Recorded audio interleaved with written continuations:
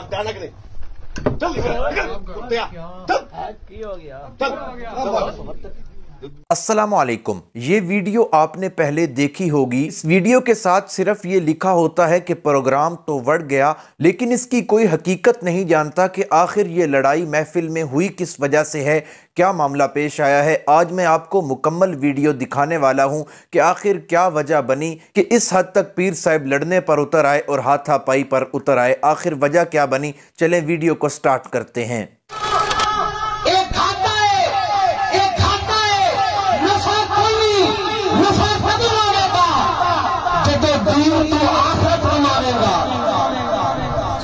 बेतवजो तो तवज्जो की गल कुछ ही बोलोगा। दीन तो की कमाना है। जिन्ना खुदा आखिर दीन तो हासिल किया खुदा का गुरब हासिल किया आखिरत हासिल की उन्होंने नेक अमल कबूल होए कि जिन्ना दीन तू दुनिया कमाई। ऐसा देखो जो मेरे दीन तू दुनिया कमाना। दुनिया कमाना। दुनिया के मकसद के वास्ते एक दीनी मसला उठाना दुनियावी मकसद वास्ते हाँ जी, फरमाया कि ये चोर ने जो दीन तो आफत पे खुदा नहीं कमा रहे ये आखरत तो गाफल ने रब ने आखरत के अंदर की इनाम रखा है? ओ सजना के दीन तो कमा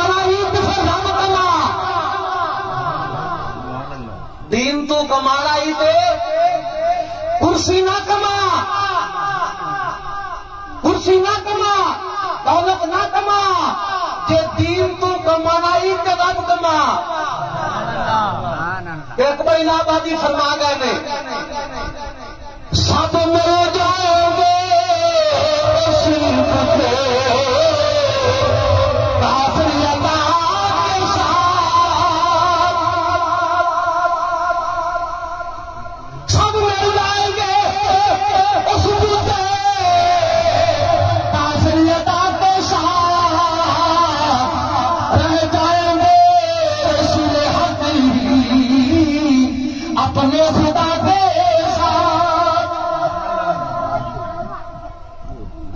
फरमा गए कि सारे मिल जावनगे। सारे? सब मिल जाएँगे, उस बुते काफिर अदा के साथ। रह जाएँगे रसूल हक ही, अपने खुदा के साथ। फरमाया के सारे मिट जाएँगे कुत्ते काफिर अदा के नाल रल जाएँगे। मगर सिर्फ़ रब के बंदे रब के नाल रहणगे। मैं साबित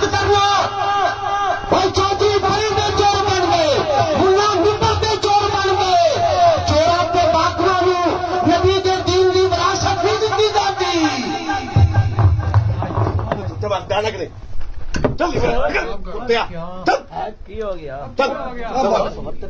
बकवास की तरह सारे सुनी जाने तो पता ही नहीं क्या चीज़ है। बस बस। बेवकूफ़ ना होता और लड़न का है तो क्या मरा दबा हो तू सुबह सुनना ही नहीं चाह रहा मैं कुरान पढ़ा है कुलमान इन्हें आखा कुरान है ही नहीं बस कुरान है। कुलमान फक तुम्हारा कुरान नहीं है खड़ा कर फक कुरान है कुरान तो दुनिया का कमाओ लख दे सो किनवा के सो बेवकूफ़ ना बजा निकल जा तू गल्ला ना बजा हराया मुंडी को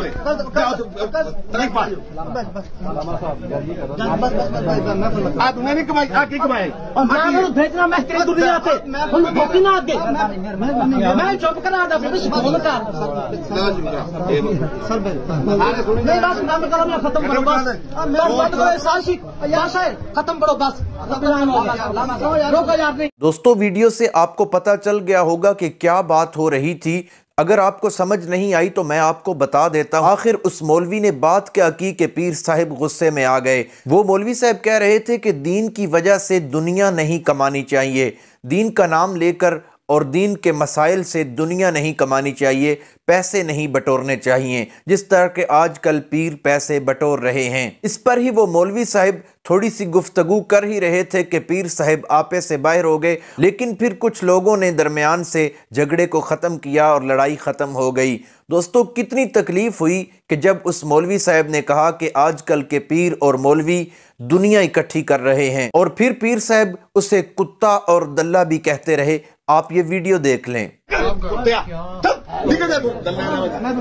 उसको ये गालियाँ क्यों दी जा रही हैं कि तुमने हमारी दुखती रग पर हाथ क्यों रखा? तुम तो हमारी रोजी रोटी बंद करने वाले हो, कुछ शर्म करो।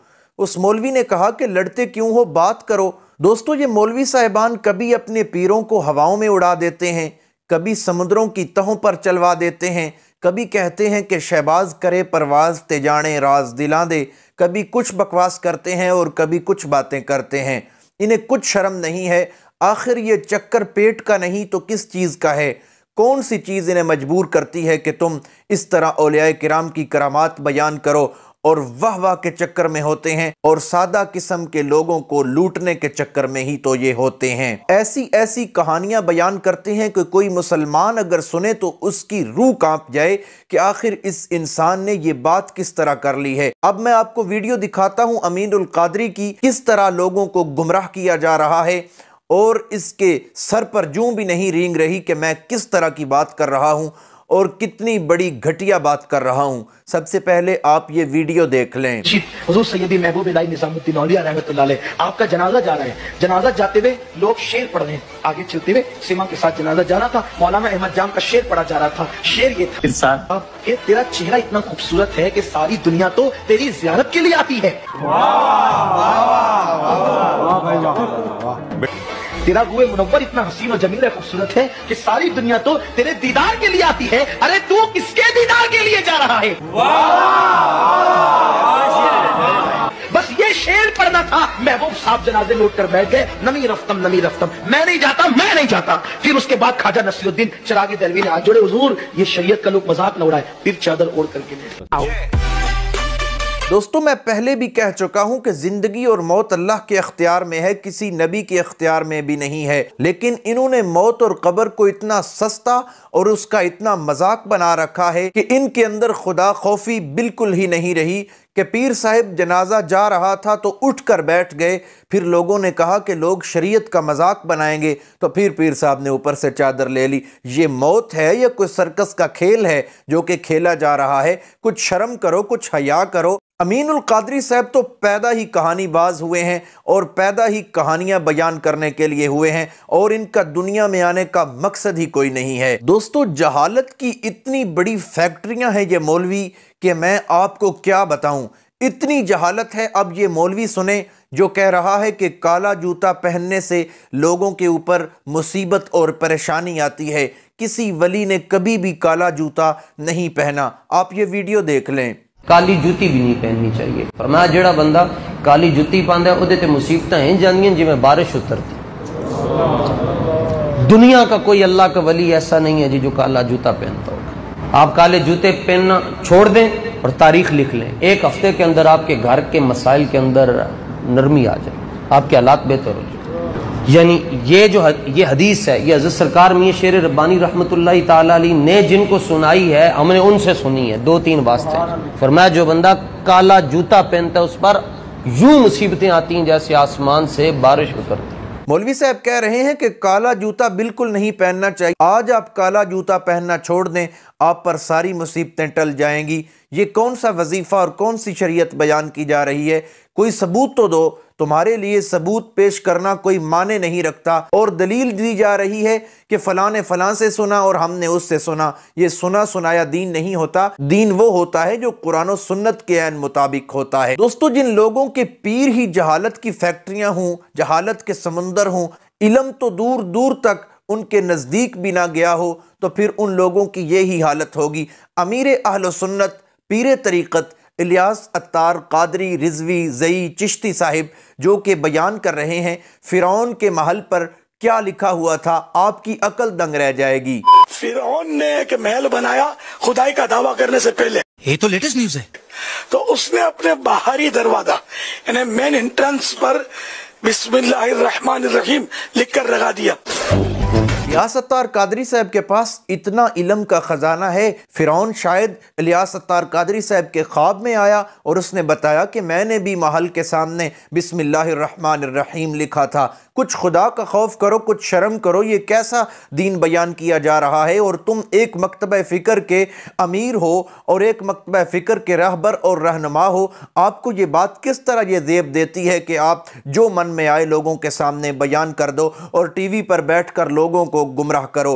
कुछ हया होनी चाहिए, कुछ शर्म होनी चाहिए। अगर बयान करना है तो कुरान और सुन्नत बयान करो, ताकि कुछ लोग सुने और सीखें और समझें और उस पर अमल करें। लेकिन आपके पास खुद कुरान और सुन्नत का इलम नहीं, आप पर कुरान और सुन्नत का रंग नहीं चढ़ा, और फिर आपका खुद अमल भी कुरान और सुन्नत के ख़िलाफ़ है, और बिदात आप नई नई ईजाद करते हैं तो आप किस तरह लोगों को कुरान और सुन्नत सिखाएँगे? आपसे गुजारिश है कि आप कुरान और सुन्नत को सीखें, समझें, और इन मौलवियों का पल्ला छोड़ें। ताकि आपको हिदायत नसीब हो जाए। उम्मीद करता हूँ वीडियो अच्छी लगी होगी। अगर अच्छी लगी है, वीडियो को लाइक करें, शेयर करें, चैनल को सब्सक्राइब करें और अगर फेसबुक पर देख रहे हैं तो फेसबुक पेज को फॉलो करें। मिलते हैं एक नई वीडियो के साथ। तब तक के लिए अल्लाह हाफिज़।